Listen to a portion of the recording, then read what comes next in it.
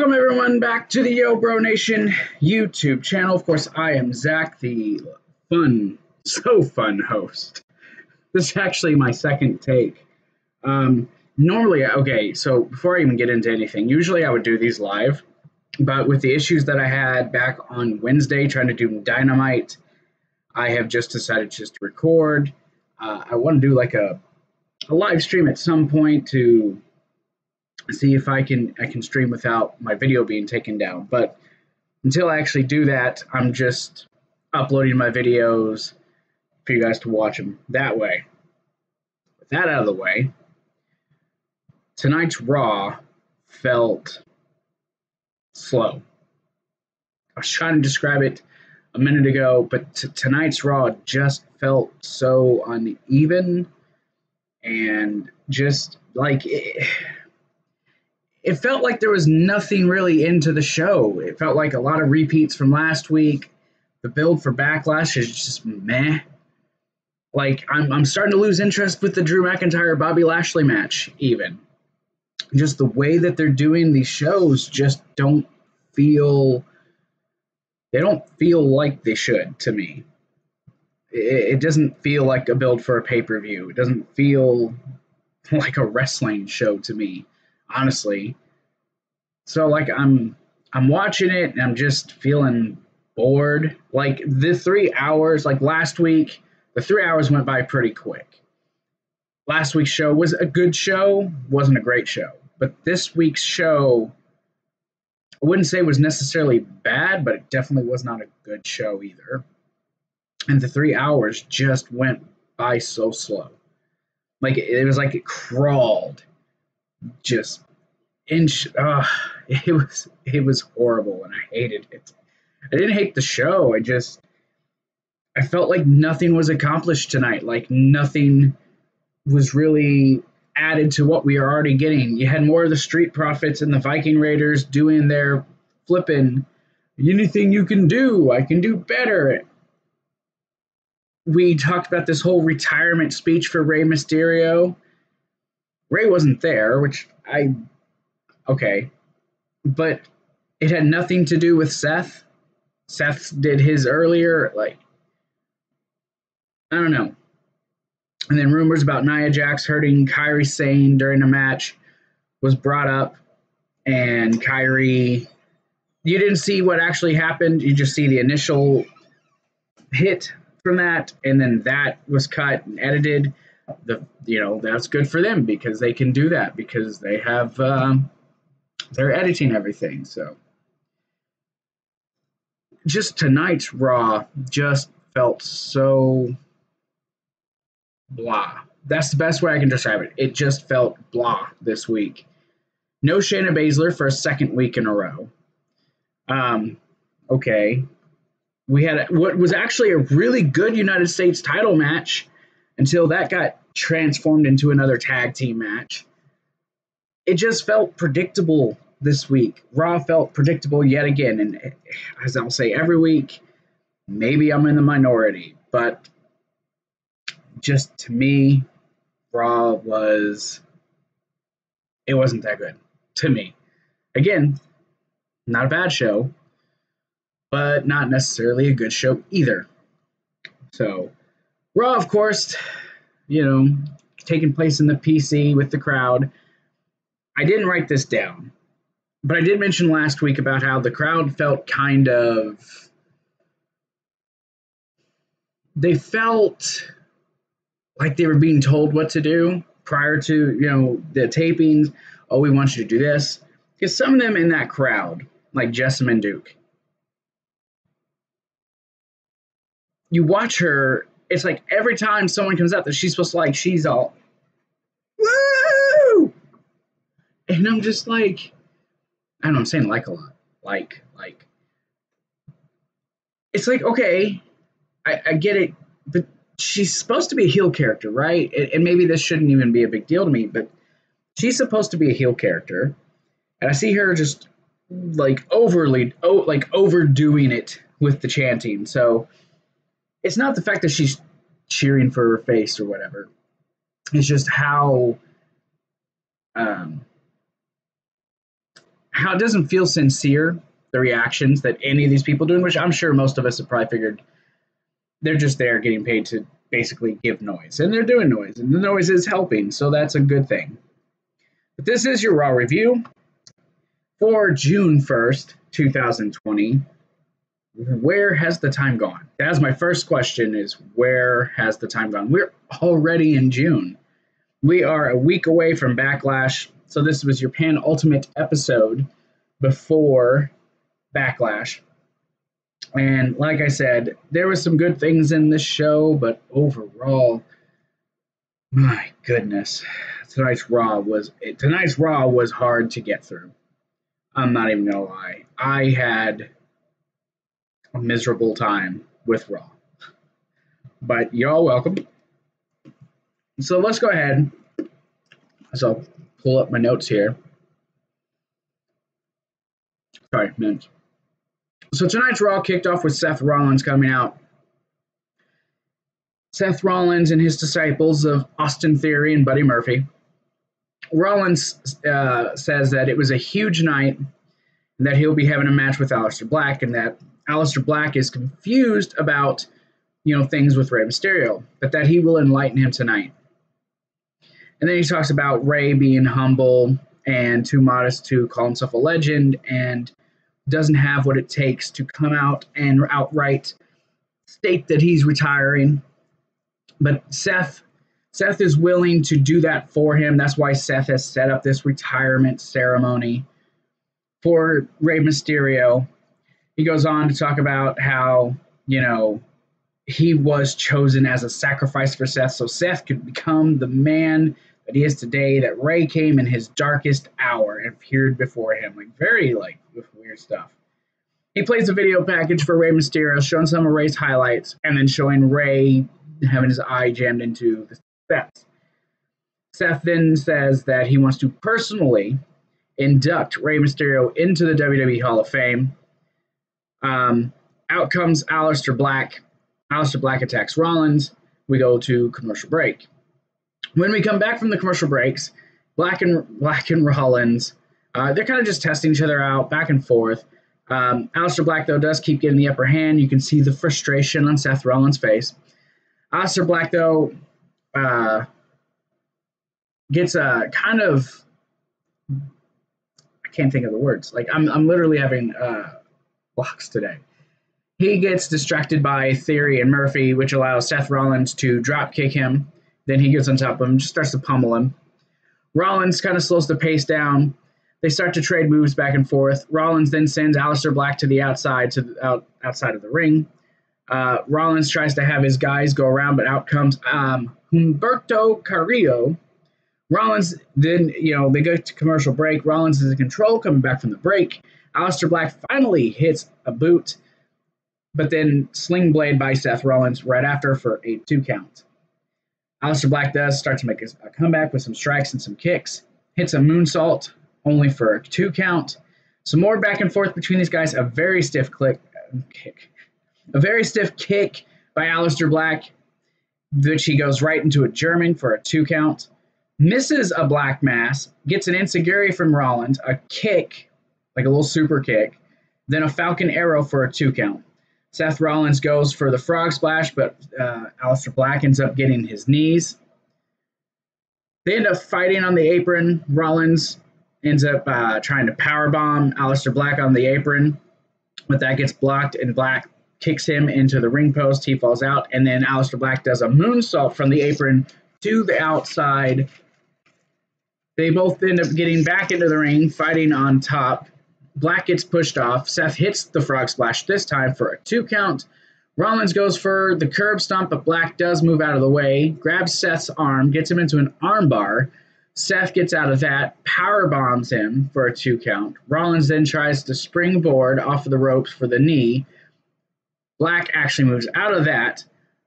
Black ends up setting it actually hits him with a knee himself. Black sets up for the Black Mass, but Murphy and Theory get on the apron. Humberto pulls them both down. They start fighting. That allows uh, a distraction for Seth Rollins to get a schoolboy for a two count. But then Aleister Black ends up getting a roll up of his own for the three count and wins the match. As soon as the match is over, though, they go and attack uh, Aleister Black. Humberto gets in the ring. They end up beating him up. They hold Aleister Black and allow Seth Rollins to then get a stomp on to him. Seth says that he wants to be a hero. He told him to stay out of the way. This is what he gets for being a hero. And then he curb stomps Aleister Black as well, and they leave the ringside area. Match itself, pretty good match.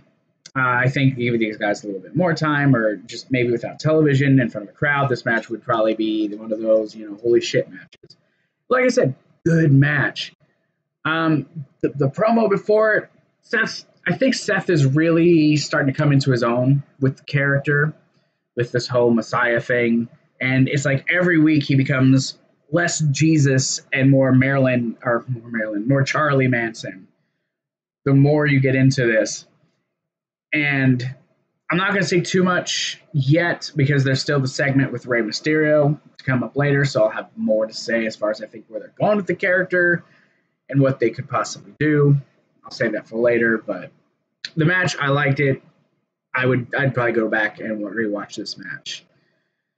Interview with uh, Charly Caruso. She interviews Angel Garza and Zelina Vega. She shows them what happened last week with Garza's match with Owens and how he attacked him and attacked the leg.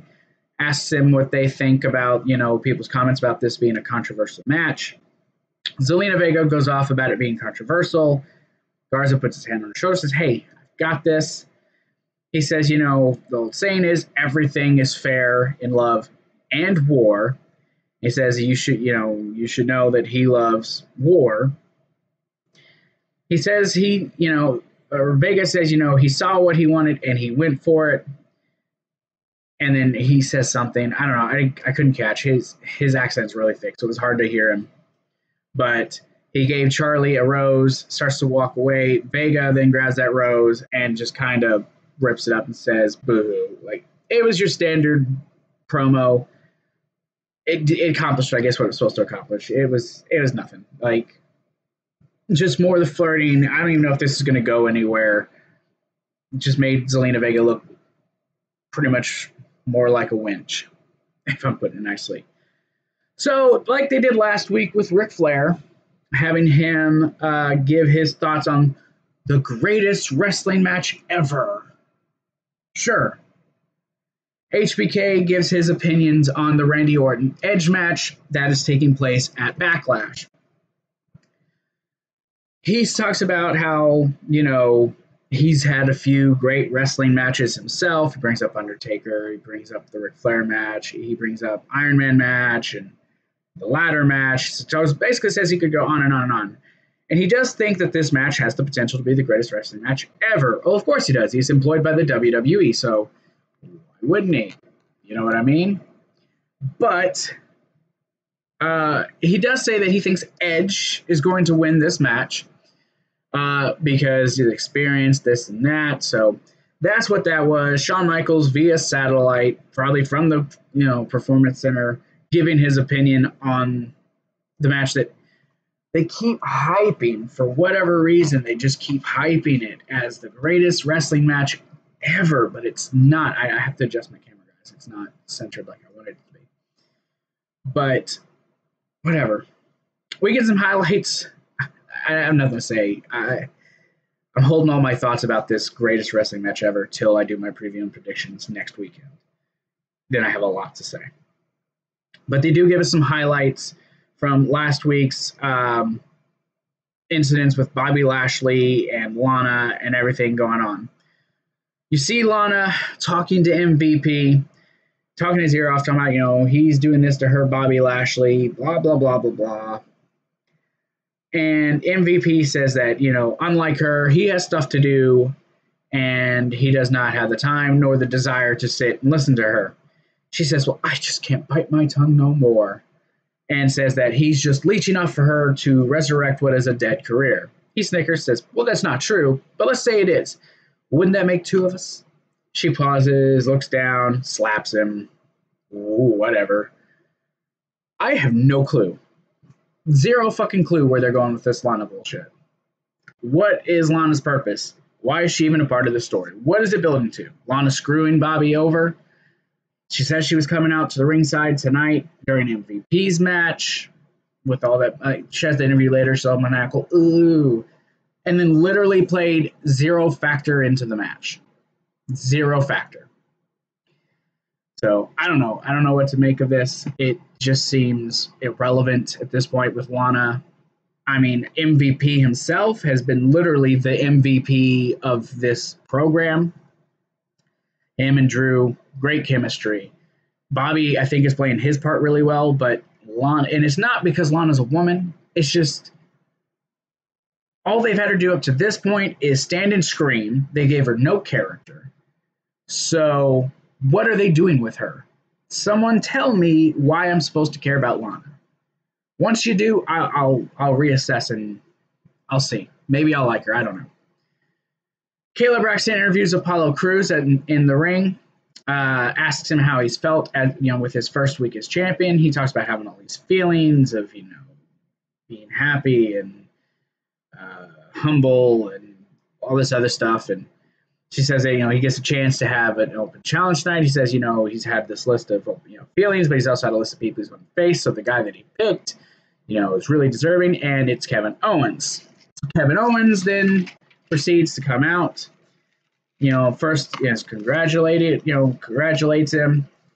Uh, then is like, you know, you know, he's never down, you know, to pass up a challenge, but if this is out of pity, and Apollo basically tells him it's not about pity, that is, you know, respect. So Owen says, okay, well, if respect, cool, but I'm still sorry. I still feel bad. And Apollo's kind of asking why. He says, because your first title reign is going to be a short one. Tosses the match, you get the mic drop. Ooh. So you get Kevin Owens versus Apollo Crews for the United States Championship. This was up till the end probably the best match of the night. You get these guys just, you know, good exchange. Like they they had really good chemistry, I think. And maybe maybe I'm alone in this, but I think they had fantastic chemistry. You get a clothesline to the out. I mean, it's kind of just back and forth exchanges. But you get a clothesline to the outside by Kevin Owens. He goes to the outside, tries to do a senton to the outside, uh, off of the apron. Let's see, where am I at here? So yeah, senton to the outside, off the apron by Kevin Owens. Then he goes up top to go for a senton, hits that, gets a two count. Um, he ends up kicking Apollo Crews this really weird segment. So I can't even read my own handwriting sometimes but he kicks Apollo kind of low. So Apollo falls. And you can hear him groaning, like, oh, like, I, I don't know. I guess he got kicked in the junk. But the referee even says, you hit him in the groin. Okay, I thought that was a disqualification, but all right, fair enough. So they get back up, or Apollo gets back up. Owens asks him if he's okay. Oh, he decks him. So they just start fighting back and forth. It goes to commercial break. They come back from commercial break, and they're still punching and, and hitting each other. You get a power slam by Apollo Crews for only a two count. He goes for an Olympic slam attempt, but then get Owens gets out of that, hits a super kick, attempts the and then hits a moonsault off the top rope for a two count. Owens then goes for the pop up power bomb, but that's countered. Countered into an enzuigiri by Apollo Crews, who then does hit the Olympic slam this time for a two count. He then goes for a moonsault, a standing moonsault, gets only a two count. Then Apollo Crews started doing these splashes into the corner. He hits two of them, goes for a third one. Owens moves, hits the super kick, goes for a senton, but Apollo Crews manages to get his knees up. It's about this time Angel Garza and Andrade come out of the ra- come out. They attack them, so it's a double disqualification. It cuts to commercial break. We come back, and I knew this was going to be the case, but now this has turned into a tag team match. Playa as Andrade and Angel Garza take on Kevin Owens and Apollo Crews. You need to come over here so people can hear your voice just just this one time. Well, they didn't hear you on there last time. I mean, So this is sidekick Susie, everybody. She just got back. So there, she could say she was on camera. Um, this this match, man, Garza and Andrade basically were in control. uh, working over Apollo Crews. You get a nice, beautiful drop kick though by Angel Garza onto Apollo Crews, uh, then rips off his pants and throws them at uh, Kevin Owens. Uh, Apollo Crews though keeps trying to fight through it. He ends up getting hot tag. Garza immediately runs, tags in Andrade, but before he can even get out of the ring, Owens is like on top of him like a fly on shit. but he ends up being able to distract the ref just enough to get an eye poke in, and then Andrade basically gets a hold of him and starts working over the leg by putting Kevin Owens into a half crab. Um, Owens keeps trying to fight back, does end up getting a tag to Apollo Crews. He gets some more back and forth with uh, him. Garza at one point tries to do a wing clipper, but he escapes that. Uh, some back and forth with him and Andrade. Uh, towards the end of the match, Garza ends up clipping Kevin Owens' leg while he's standing on the apron. That distracts uh, Apollo Crews, who gets rolled up for a two count. He ends up, I think, hitting an enzuigiri uh, and ends up getting him up for that power bomb, that spinning power bomb for the three count. So the bad guys tried to get a sneak attack in. Fresh as daisies, still lost to the guys who just had a 20 minute match. So Apollo Crews and Kevin Owens win with that move. What's this setting up? Fuck if I know. Probably Kevin Owens versus Angel Garza. Maybe a fatal four way. I, I have no clue. I don't need to see Andrade versus Apollo Crews again, if I'm just being honest. I don't need to see it. I'm not saying the match would be bad, but at this point, I've seen it twice. The first match was clearly the better of the two, so I don't know, maybe with pay per view they'll have a better match than this last one, but that's probably where it's heading. So I don't know. we get Miss Kayla Braxton again, interviewing Asuka, who comes into frame dancing. Do do do do do do. I mean, Asuka's fucking crazy, but we like it, right? We all love Asuka. Uh, she talks in Japanese when asked about Nia Jax. Basically, says she's going to beat Nia Jax. Uh, then asked about her match with Charlotte tonight. Uh, she speaks more Japanese and then says she is always better than Charlotte, and Charlotte stays the same. And then says the Empress bows to no one. It's Asuka, and it's a promo. Do I need to say anything else? We love Asuka. We move on. We all love Asuka. Oh, she got the dragon. Oh, yeah, bring the dragon over. I want everyone to meet Daenerys, the, the, the dragon. She's the baby. She is the baby. Oh. There you go. I'm like, I'm not sure where it goes. I got you.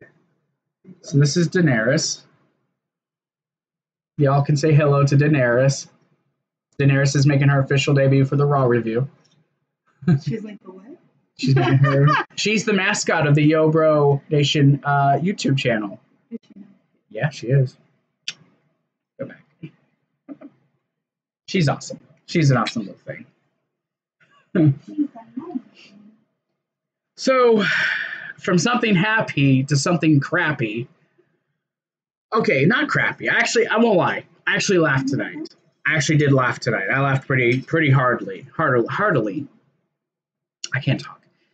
Viking Raiders versus the Street Profits and the Anything You Can Do, I Can Do Better challenge week five, four. Yes, that was bowling. The funniest thing about this is how everyone seems to find Erik to be cute. I'm sorry, Rowe. I'm gonna call him Rowe because I can't call them by their their uh, WWE main roster names. They're still Hanson and Rowe to me. So Hanson, you know, he's called cute. Um, see, I can't remember which one's actually who. I just know by Hanson and Rowe. But they're they're doing this whole bowling thing with the Street Profits, and I'm not gonna lie, I, I'm bored of it. But tonight was actually funny. I'll give them that. I actually did laugh tonight with with the whole thing. They're bowling, you know, starts with the shoes, and the Street Profits are all confused about what the hell the shoes are for. And they end up like pulling a turkey leg out of the freaking thing that brings up the bowling balls. They're like, it was just ridiculous. And they, you know, run into the cooking area, the kitchen. Jesus Christ, I'm a cook and I can't think of. It. Run into the kitchen to get into the freezer. They pull out more turkey legs. They almost get kicked out. Apparently, it's something that's happened before. It, it just goes on. The insanity. And the funny thing is, finally, the Street Profits, you know, yell, you know, we want the smoke, and all the lights get shut off, and they do basically um, star bowling or whatever the hell it's called around here. Cosmic bowling. Thank you. They're doing some cosmic bowling shit. And they actually get like it's like 130 to something. But then the Viking Raiders decide, you know, so Hanson decides he's gonna take and chuck Rowe. I'm sorry, Rowe decides he's gonna chuck Hanson uh, down the alley with the ball, and they get a strike and win the game. I guess we're gonna get another week of this. They're tied up, so it's two to two. So they got to have the tiebreaker, right? I guess I don't know what's what's next week. They'll probably have something next week, which will actually set up a match for Backlash, or they'll just set up the match for Backlash next week. I have no clue at this point. Fuck it. What what, what are we gonna see them do next? Who can hold their breath the longest? Um, they're gonna play some solitaire. We we gonna play some five card studs. Who's the better at poker? Uh, oh, oh, maybe horseshoes. Right, we're gonna play some horseshoes. Hopscotch. That's it. They can play four square. They can play. They can play Foursquare. I mean, hell, WWE. Call me up. I'll, I'll give you guys ideas for days. For days, that's nice. So we're supposed to get Billie Kay versus Nikki Cross, but all the Iconics, Alexa and Nikki, they're all backstage. They're all fighting. Um, they come back from commercial break. This match was a nothing match. It, it just it just it was just there to set up more story. It was really nothing until you get towards the end. But basically, Nikki goes ham on Billie Kay to start the match. Billie, you know, kind of hits her with a big boot, and then the match is just basically Billie Kay working over Nikki Cross. Uh, Nikki starts to build some momentum, sets some clothesline, a corner frogs, a corner splash, goes into a bulldog, tries to come off the top rope with a uh, crossbody, but misses. Billy Kay hits her with a sit out power bomb for the three count. It- literally, that was the bulk of the match. I mean, there's a couple things here or there, but it was just kind of dragged out with hold. Man, I don't want to sound negative. I really don't, but I don't give a fuck about the Iconics. I don't. Why should I care about a team that, when they had their last run as champions, did nothing, and I'm supposed to take them serious now? Why? Why would I do that? They're not serious. I can't take them serious. You know what I mean? And I mean, again, I don't want to sound negative, but this is one of those things about Raw that just the third week in a row, these teams have had issues. Fourth week in a row. And it's leading to what? Another match at Backlash when they're going to defend the titles on SmackDown this week? Like, what are we, what is the point? What is the point? There's no tag teams in the women's division. You, you, like, literally, Fire and Desire broke up. The, the Kamar, Kam, Car, bleh, I can't talk. Carmella and uh, Dana Brooke, I think, were supposed to be a team, but that never happened. I mean, so you got the Iconics, Alexa, and Nikki. Who else is there? Sasha and Bayley are somewhat of a team, but they're not really. Tell me, who else is there in the women's division for the tag teams? There's not another team. You got Asuka and Kairi Sane, but they're both doing single stuff that I could think of legitimately three teams, and that's it. That's all I, I know. I, I can't think of any other teams. This this women's tag team division is garbage, and anyone who tells me that I'm wrong, no offense, go get your head checked. Seriously, I don't want to be negative Nancy and tell everyone that they're wrong. I want to be a positive guy, but this division is just atrocious. I guess they need to do some call ups from NXT. I, I don't know. So we get an interview with Drew McIntyre. Um, he's asked about his, you know, stuff going on with MVP and Bobby Lashley. He says he loves a challenge. Says it's like week nine is champion. Um, and he says basically he, it boils down to anyone who wants to step up to him, he'll line them up, he'll knock them all down, and send them a one way ticket to Claymore Country. That was the gist of Drew McIntyre's promo. Look, Drew McIntyre, love him or hate him, Drew as the champion in this empty arena era, I think is what we're calling it for wrestling. has has been one of the standouts in the company. I liked him as champion. I just wish everything he was doing was in front of a crowd. And I think it would all seem better for him. I, I think it would come across better. It's not come across bad by any means. But I can definitely tell you, Drew as a champion has been good. I just, ah, I just miss the crowds. I think that's basically what it is. So the moment, moment we all waited for, Rey Mysterio giving us an update on his injury and whether or not he's going to retire. When asked uh, when he was going to return to action, he says honestly he doesn't know. He doesn't have a timetable on that. It could be two weeks. It could be never. Uh, he's asked if he ha- if he's here to retire. He says he honestly doesn't know, but he does want to address Seth Rollins. He says uh, Seth, for someone who claims to be someone's positive, he carries a lot of negativity, and he's talking to him about. He's just basically addressing everything with Seth and how you know he's not. He isn't someone who was sent to be sacrificed. He basically calls that bogus. Dominic steps into the screen, tells his dad, Papa, which is weird. Like, you're a grown ass man. Stop calling your dad Papa but then tells him um, that you know something needs to be done. Someone from this family needs to go and deal with the Seth Rollins situation. Rey calms him down. Rey says, you know, you guys want an official statement from me? Well, here you go. He says he is usually a man of forgiveness. He really is.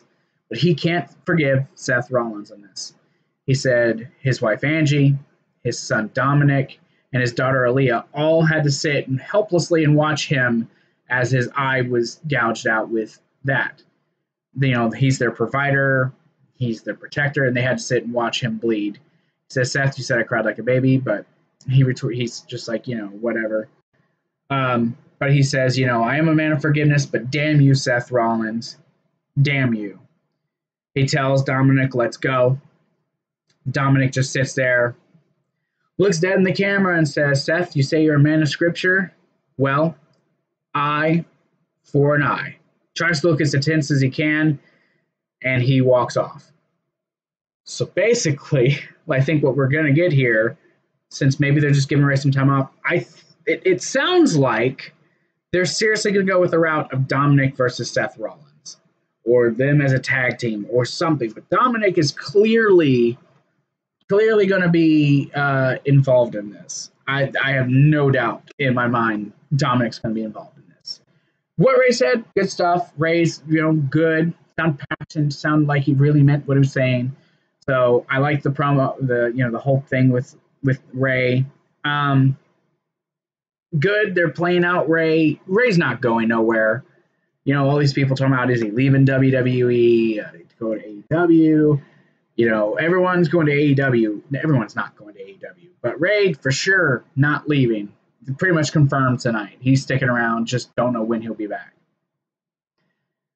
So before I get into all the Nia Jax and and oh okay, so yeah, basically before I even go that route, um, so this whole Messiah character, I talked about it being like Charlie Manson, right? And where this could go. Now you get Dominic, who's like really like ready to just go in on Seth Rollins, but Rey is like, no, no, no, we'll, we'll you know, whatever happens, happens. I could see this playing out, and I'm sure I'm not the only person who's thought this or even said this, but I could see this playing out with Dominic turning on his father because he wants his father to be aggressive and he'll somehow, you know, look, you were weak. Seth's strong and you were weak. Like somehow this will play into Seth manipulating Dominic to turn and go with him and turn on his father as the ultimate sacrifice of Rey Mysterio, leading to eventual match, whatever. But I see it going and playing out in some form or fashion with this. Um, hell, fuck, maybe I'm crazy. Tell me in the comments. Am I crazy? Probably so. Anyways, so before I get to the Nia Jax, Kairi Sane stuff, they did bring up Gronk and R-Truth and their little stupid promos back and forth last week. Well, as most people have predicted, Gronk is no longer the 24 7 champion. At home with one of his buddies, going to do a TikTok video. Uh, his buddy is you know this like person out guarding, and uh, Gronk's like, wait, who's that? He's like, oh, it's just a gardener. He, you know, is doing this. Gronk's like, okay, so Gronk turns around, starts dancing again, and then uh, his buddy takes off the shirt and he's wearing a referee shirt. It's like, wait, what are you doing? And then of course, R-Truth is there. R-Truth rolls him up with the most devastating move. Blah blah blah.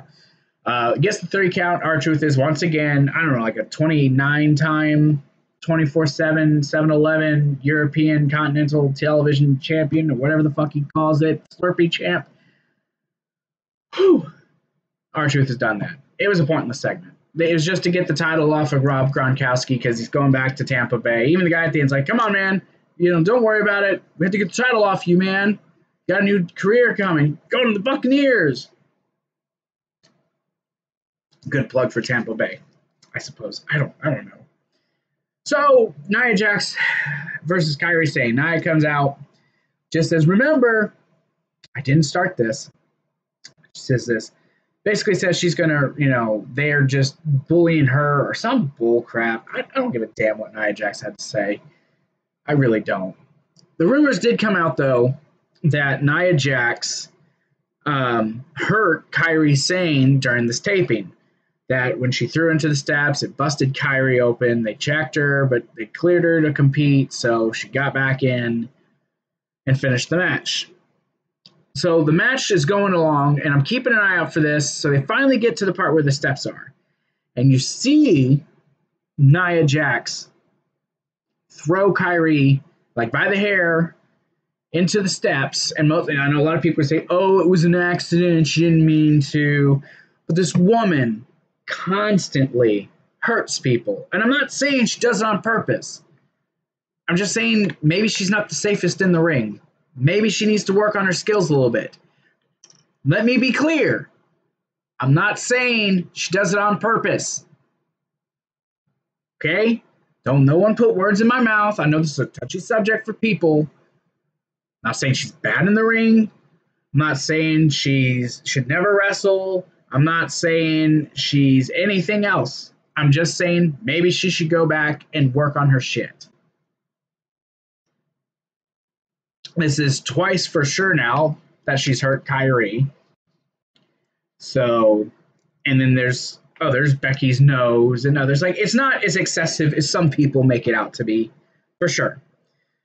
But you do see her grab Kairi by the hair and throw her. Someone said that, oh, it was just Kairi trying to hit the steps a certain way. But no, she literally went face first into the steps. Didn't trip over nothing. She was just basically tossed by her. And it didn't come out right. So they they cut it to where you didn't see the blood, but they played it off where Kairi. I, I guess they stopped rolling, cleaned up Kairi, and said, "Okay, lay back down, and we're just going to finish the match as is." incidents happen. They've actually banned the buckle bomb because of when she hurt Kairi with the buckle bomb just weeks ago, right after WrestleMania. So, again, I'm not saying Nia is a bad wrestler. Bless you. But what I am saying is they need they they need to do something. I'm not saying you know, kick her out. You're at the PC. Work with her. You're at the PC. Work with her. Help shore, shore her up. You know, get her more better equipped, I guess. I don't know. But she she's hurting people. Not, again, not at the rate that others are saying she is, but she has hurt people. I will not go as far as to say she doesn't deserve to be in the ring. I will not go as far as say take her job away. I will not do any of that because that is not fair. That is not my place to say. I have not wrestled. I've watched wrestling for 20 years, granted, but that I can't say any of that. That's not my place to say. So, all that aside, the match itself was whatever. Uh, Nia tried to use her power. Kairi just kind of tried to outquick her and do stuff. Nia, you know, gets drop kicked right out of the gate, tries using her power, throws Kairi around a little bit.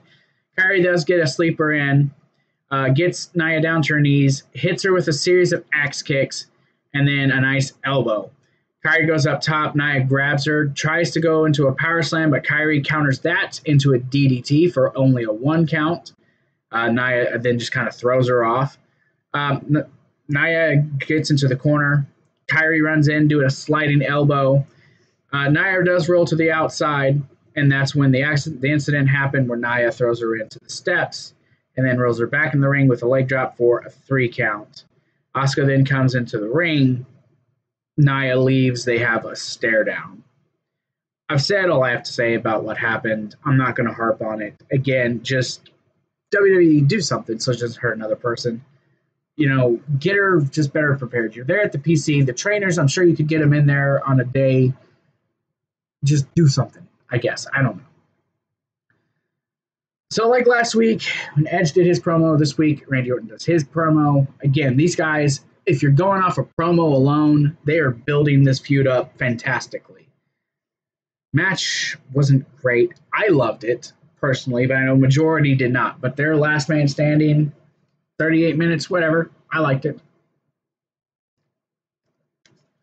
Randy Orton says, you know, he's been sitting at home with everything going on. Says he's caught up on he's got caught up on things on the WWE network, you know, Undertaker's Last Ride, Ride Along, all these other shows. He uh he talks about how, you know, people everyone there had things in common about Ric Flair being, you know, the best to ever lace up a pair of boots, and he agrees. He said that was until last week when Ric Flair said that he was the best to ever lace a pair of boots. He says, Edge, you accused me of just coming in, being ungrateful, this just being a paycheck, blah, blah, blah. He says, You're right. I, I that is everything you said is true. He says, and it eats you alive because I can just get out of bed in the morning, come in, and just prove that I'm the best. He says that, you know, he laid the bait and Edge, you know, bit. And that at Backlash, he's going to prove you know that he's the better man and with the three most devastating letters of all time RKO. Okay. I know I sound like I don't care about the the whole thing, but sometimes WWE's just their lines are dumb. But the promo was good, and up till the end, I really liked it. I just I can't, I can't take them serious about this being called the greatest wrestling match. I legitimately I just I can't do it. I, I, I can't. It's not going to be the greatest wrestling match. Maybe the greatest wrestling match this week uh, or that week. Maybe the greatest wrestling match of the month, but of the year, that's pushing it. But of all time? What? No. Sorry, guys. Just, it's not. It's not going to be. But the promo, yeah, promo was good. I do look forward to the match. I think it's going to main event backlash. I don't know. I'm going to move on. I'm not going to harp on this. So Charlotte uh, versus Asuka. Charlotte comes out, cuts a promo about the NXT talent being there, how she wants them to, to succeed, so that way she can make them all bow down to her. And then she talked about how she always makes Asuka bow. Charlotte was in control of this match at the beginning, talking trash to Asuka. Starts working over Asuka's leg. Asuka would try to fight back, but Charlotte would just kind of keep keep going at that leg. Asuka though eventually hits a really big side kick, hits uh, a German on Charlotte, tries to go for the drop kick off the top rope, but does miss.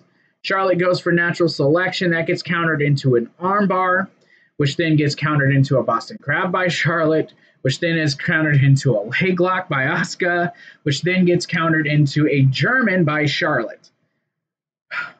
Asuka then does eventually try to get the armbar in again, but Charlotte lifts her up and then slams her back down to the mat for only a two count. Charlotte does go for a figure four, but Asuka kind of pulls herself towards the ropes, uh, kind of kicks at Charlotte. Charlotte then boots Asuka, knocking her off the apron to the outside of the ring. Then Asuka's music starts playing, and out comes Nia Jax with the mask, mocking Asuka. Uh, Asuka gets up, ends up getting counted out. Somehow that was the quickest 10 count ever, and then gets clotheslined by gets clotheslined by uh, Nia Jax, who leaves and walks away. Charlotte won by count out. Okay. That it's not their WrestleMania match. I mean, nothing will be their WrestleMania match. But it was a good match. A good television match between two people who do have really good chemistry, in my opinion. Um, the, the ending was crap. We had we had a couple false finishes this week, and man, can we do some actual finishes? I'm not asking for much. So then we get the interview with Lana that I mentioned earlier. Then it's main event time, which they cut this match. I guess they cut this because it was short on time. I'm not sure, but you know, Lana comes out and Lashley's just kind of looking like, why is she out here? This match was Drew McIntyre dominating MVP, a chop, a clothesline, hits him with a Glasgow kiss. Um, Lashley then gets between them on the outside. MVP MVP pushes Drew into the post, rams him into the barricade in the glass, gets him back in the ring. Drew McIntyre gets advantage back, goes for the Claymore, but Bobby Lashley pulls out MVP. Uh, then Drew McIntyre, this dude's 200 what 70 pounds, 280, whatever, six foot seven, does a fucking swanton over the top rope, lands on both of those guys, throws MVP back into the ring, hits him with the claymore for the three count. As soon as the bell rings, in comes Bobby Lashley, who locks him into the full Nelson, and that's how Raw goes up there. Like literally, the match started, and I think it was like 9:58 this match was given no time. So bringing, like I said earlier, bringing Lana out to literally do nothing. She played nothing into. You know, she played like, oh, I can be out there during his. Ooh, like, what was the point? What was the point? There was no point to them to them having her out there. Other than, hey, I guess we should put Lana on some TV. I guess. I, I don't know. So it wasn't there was there wasn't much of a match to judge, not much of a match to be like, oh, that was a good match, it was a bad match. It was it was there. This was probably the big I mean, honestly, since Drew won the title at WrestleMania, and this is just my opinion, I can't speak for anyone else, but to me, I think this was Drew McIntyre's weakest segment that he's been on Raw since becoming champion. Because they took the focus off of Drew to make it about Lana but then Lana played zero factor into this, and it still ended up being about Drew and Bobby in the end. But they didn't get no time to build any story. So I don't know. It's like I said, Raw tonight just felt weird to me. It felt like a pointless, just nothing. Like it, I, it was dumb. I, I didn't like Raw tonight. Again, not bad, but just I didn't like it. So that's it for me, guys. Honestly, my throat's getting dry. So I don't know. You guys let me know what you thought about Raw. I'm trying to stay positive. You know, thankful that we get wrestling with everything that's going on. But if you are going to put on a show, give me a show that I'm going to enjoy. And hey, entertainment's subjective. I get that. But my entertainment, I expect high quality. I'm an attitude era baby. I grew up watching the golden age of wrestling. So I have a high quality bar. So you guys can go to Twitter, Facebook, Instagram, all that stuff down in the description below. Join us on Patreon if you want to. You can donate to us on uh, Streamlabs if you want to. Nothing's required. The only thing I ask you guys hit the like button, share this video, and subscribe to the channel. I am Zakk. Thank you guys for coming in tonight and watching this Raw review. And remember, join the nation. I'll talk to you guys later.